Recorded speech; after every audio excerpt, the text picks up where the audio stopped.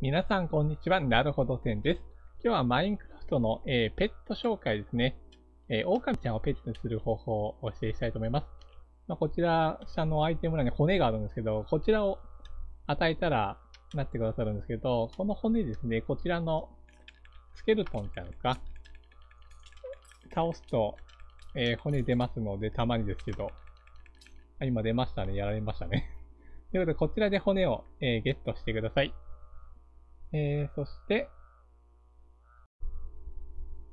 さあ、狼ちゃんいました。森とか大河にいるみたいなんですよね。こういう木がたくさんあるところに。さあ、で、まあ、たまにしかいらっしゃらないですけど、で、骨に持ち替えて、えー、っと、ZR だと攻撃しちゃうので、攻撃したら襲われちゃうので、ZL の方ですね。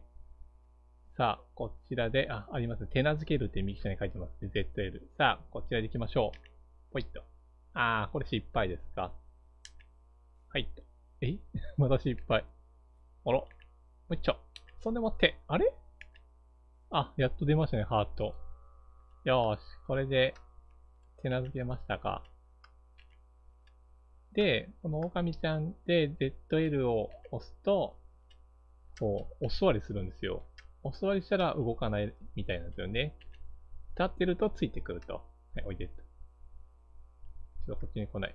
ワープしてもついてくるみたいなんですよね。この状態ですと。お、来た来た、かわいい。で、なんかゾンビちゃんとか襲ってくださるみたいですよ。戦ってくださると。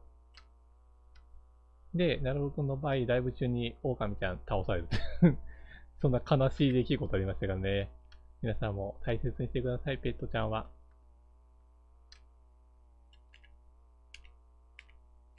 ですか？ら、2匹3匹も多分できるっぽいんですけどね。